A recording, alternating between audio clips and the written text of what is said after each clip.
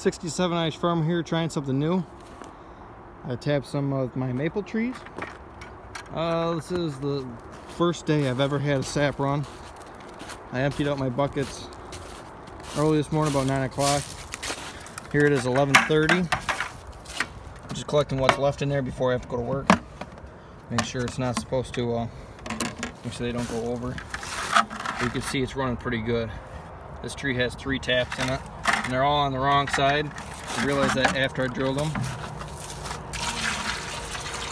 Well, that's after, let's see, five taps. Both these three. So eight taps so far. Let's see if this lid on there.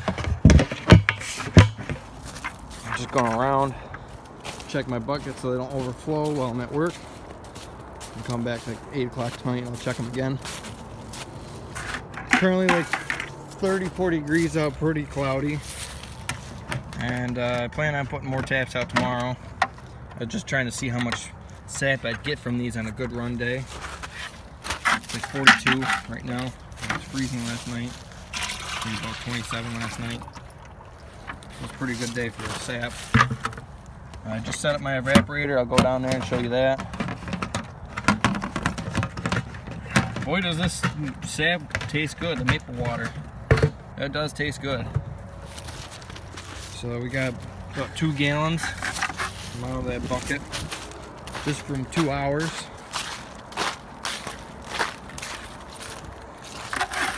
And then I don't have just this tree, that tree, and that tree, and that tree. I've got three more down there. And then where my barn is down there, I have another two trees down there. So I'd probably get about two gallons and a gallon an hour out of this. I need I need more than that. If I'm gonna run that evaporator, I'll show you why. That evaporator's pretty big. My buddy from college just dropped that off for me to help me set it up with uh, concrete blocks and stuff. I'll go dump this in uh, new garbage cans that I just picked up and wash them out to the store. So I have to have a minimum of 60 gallons in order to uh, run that evaporator. So here's my evaporator.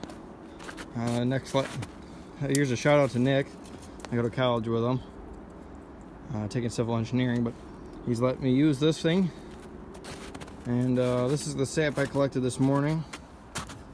Uh, it's a full six gallon bucket. Another three gallons, so that makes it nine. And then another probably three gallons there too. So that's what 12? 12 gallons of sap.